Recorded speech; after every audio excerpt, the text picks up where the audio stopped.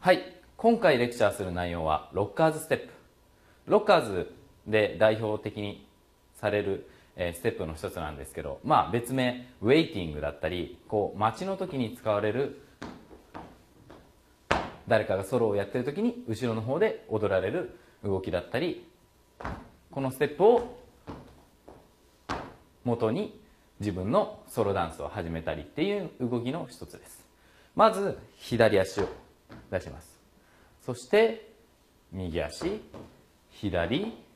右、左、ステップ、ステップ。全部で6カウントのリズムです。1、2、3、4、5、6。この動きの時に、左足、右足、この左足を出す時に、体が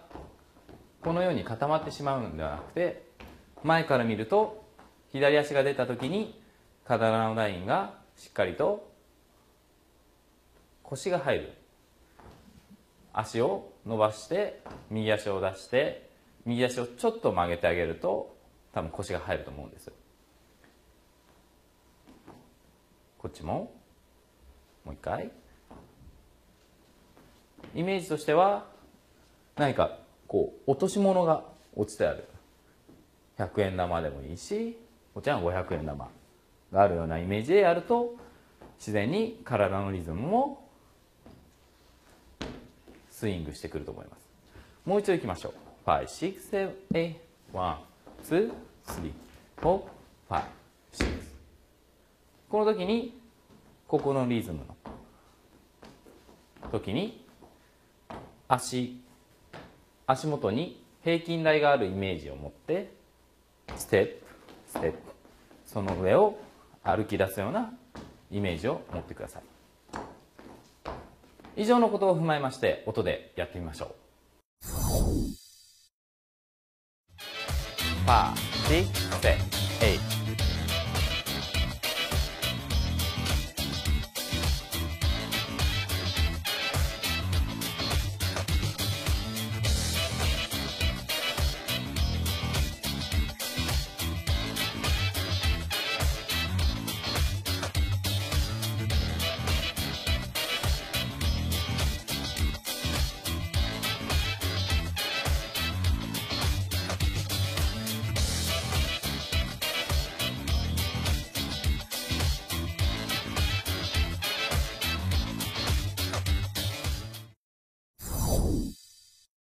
はい。この動きのポイントは6カウントの